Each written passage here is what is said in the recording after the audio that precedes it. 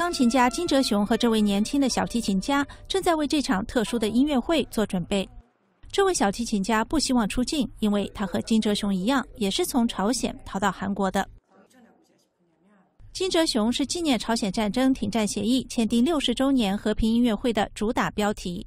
这场战争后，朝鲜半岛仍然一分为二。他说：“希望有一天，他的音乐可以帮助南北统一。”我希望通过我的音乐帮助韩国人了解朝鲜人，在谈判时，韩国人可以更好的理解朝鲜人。我希望创立一个基金会。让人们通过我的音乐来了解彼此的文化。金哲雄不是一个典型的朝鲜难民，他曾经是平壤的精英，在首尔生活十年之后，他已经是这里娱乐圈的名人。首先，我看上去不像朝鲜人，为什么？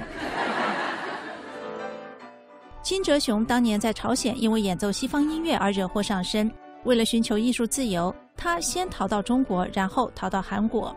金哲雄在中国遭到警察殴打。他说：“朝鲜难民仍然面临这样的待遇。”我认为我们一定要改变这种局面。我们必须向中国政府交涉，改变这种情况。朝鲜人权公民联盟是帮助朝鲜难民脱北的组织。这个机构的乔安娜·霍萨尼亚克说：“他是在讨论朝鲜践踏人权的一次大会上见到金哲雄的。”从那时起，他成了我们机构的亲善大使。我们经常请他到我们的慈善音乐会上来演奏，他都欣然答应了。金哲雄说，他梦想有一天能够访问朝鲜，再次在那里演出。美国之音电视报道。